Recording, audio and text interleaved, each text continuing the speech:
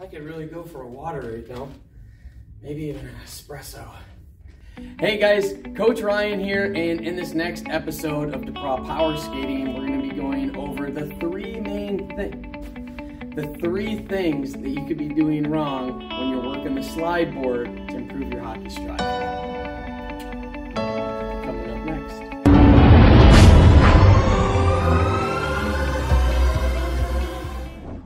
Hey guys, Ryan Dupraw here, and if this is the first time you're checking out my channel, thanks for stopping by. I'm a national power skating coach with an emphasis and expertise in creating explosive and dynamic skaters. If you happen to be looking for more help in gaining more speed, explosiveness, and quickness out on the ice, don't forget to check the links down below and you can find out more about the breakaway blueprint and how I help players virtually from anywhere, anytime, in any location.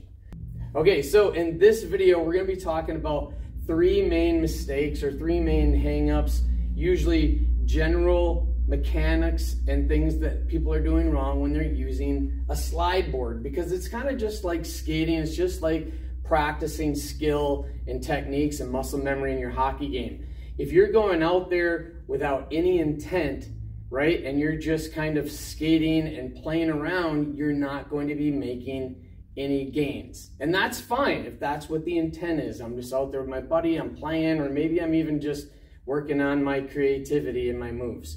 But if you're looking to improve and make gains, you need to be focused and you need to be very intent on what you are doing. Same thing when you're slide boarding. If if you're trying to slide to improve your hockey stride or your power, maybe lengthen your stride and clean up your mechanics, you have to be very focused and intent and precise. If you just slide for 30 minutes, hey, I slid for 30 minutes, you're not really going to gain a lot of transformation in your hockey stride. But these are three things that a lot of people have done when they come into the stride lab that I've picked up over the years that I've watched videos and I've seen people do from pro all the way down to amateur. So let's go into the first one. Not sliding enough, right? It is a huge, huge tool for hockey players, ice skaters, speed skaters, or the average Joe that doesn't train laterally, right? Because you have three different planes of movement in your body, and that is one of the biggest imbalances that we don't train at all, which is lateral movement. So get your butt on a slide board. Okay, so number two is rather easy, but it makes a ton of sense, and it's not skating with a deep, deep knee bend. And especially deep knee bend where you're not hinged over at the waist right? It depends. If you're a hockey player, that's a big no-no. You don't want to do that at all. You want to keep your eyes, chest, and chin up. Speed skaters, different position, right? They're going to hinge over at the waist and be out in front. They have a longer blade. It's a different type of mechanic, and you've got a little bit different physics going on because a hockey player's blade, right, when it's profiled and it's rounded, it's a lot shorter. So it's a totally different stance. Plus, it's a different game, and we've got to keep our head up. So that's the first thing I see a lot of people doing wrong. When you're up here and sliding, just trying to get used to it, and you want to just find your balance and your rhythm, not a problem, right? But if you really want to make some gains, and especially in that power stride and lengthening that stride, you've got to get really, really deep down here where you're burning the quads and you're able to extend lower because the further you stand up, there goes your long stride. And when you're a short Frenchie like me, you need every inch and every ounce of blade pushing across that ice to pick up more speed and more momentum, right? The longer you push, the more steel on the ice with a good extension and a good return is gonna get you more speed in the end game. So sink down nice and deep.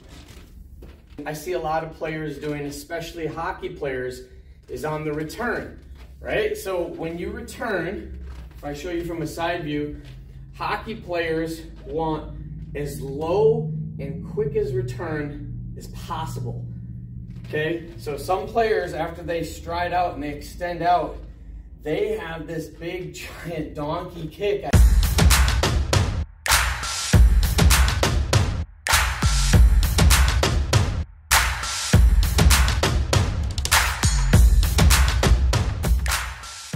I call it of a return that actually not only leaves the ice, but kind of kicks up and back.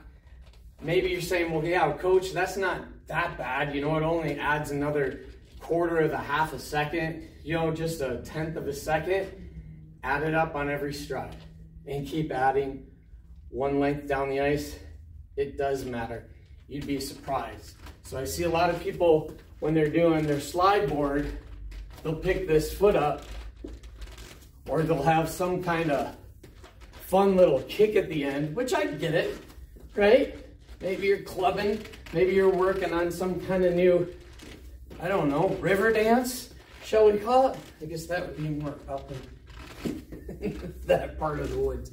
But I don't want to see you picking up that return and kicking it back at all. I want to see the extension come in, really exaggerate that return. Nothing ever leaves. My foot is always in the booty, and the booty is always down, sliding. Okay, so the third rule is gonna be above the equator, above the belt line, and we're talking about your arm punches and your arm swing.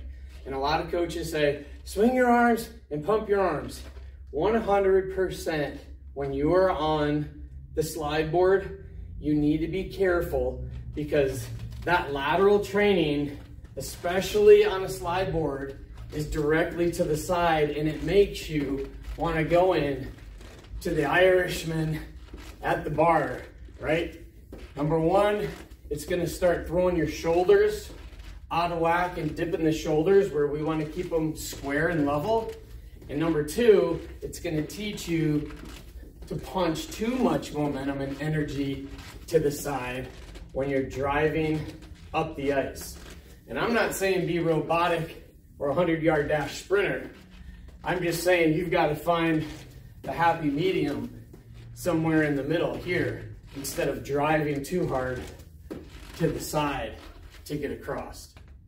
That's it for this slide board episode of DuPraw Power Skating. Make sure you subscribe so you don't miss any videos on hockey training and especially becoming a more dynamic and explosive skater. We'll see you next time. I almost forgot. I hope you have a great one. See you next time.